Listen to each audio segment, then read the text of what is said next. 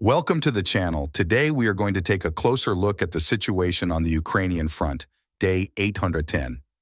In the Bakhmut sector, Russians continue to storm Ukrainian positions, bypassing the town of Chasiv Yar along the road and towards the town of Kalynivka.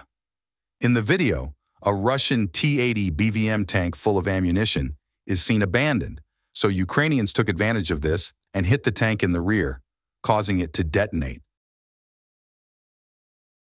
In the Lyman sector, the number of combat engagements increased to seven. Here, the Russians are doing their best to push Ukrainian soldiers back to the ponds, so they are using a large amount of equipment, including infantry fighting vehicles and the latest tanks as seen in the video. As a result of repulsing this attack, Ukrainians destroyed five enemy infantry fighting vehicles and five tanks, including a T-90M tank.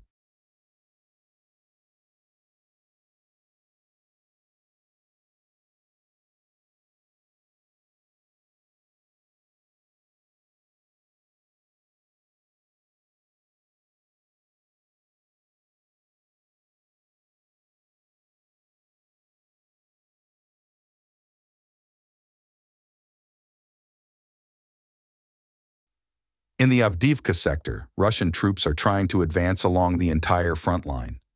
In the video, a Ukrainian drone spotted a tank preparing for an assault, but the Ukrainians discovered it and destroyed it with the help of a single kamikaze drone.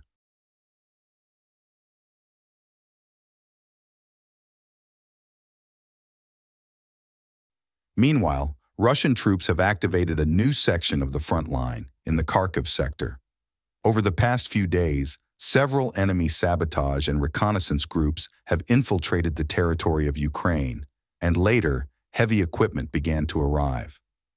One of the reasons why Russian commanders have started to advance in this area is an attempt to stretch Ukrainian troops along the front line to weaken it.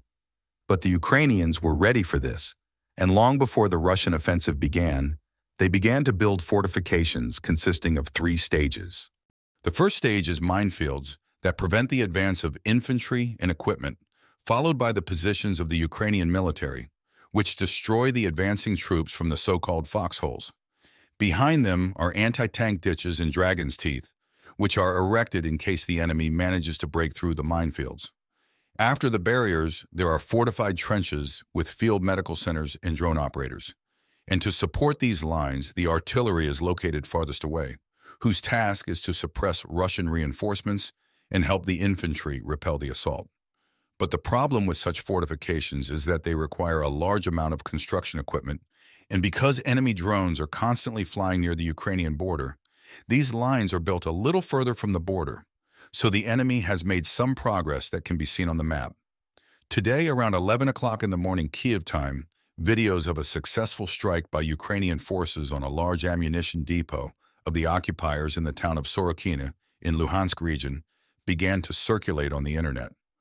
A column of smoke could be seen several kilometers away from the site of the attack.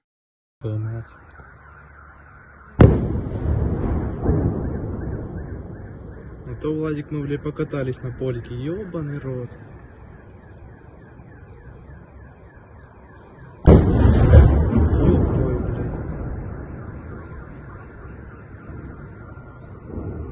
Мама, мне страшно.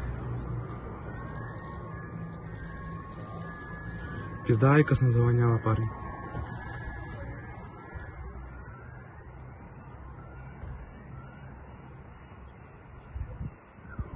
Ukrainians also managed to destroy a Russian Su-25 aircraft in Donetsk region and a Ka-52 Alligator helicopter worth about $16 million. The General Staff of the Armed Forces of Ukraine announced on social media.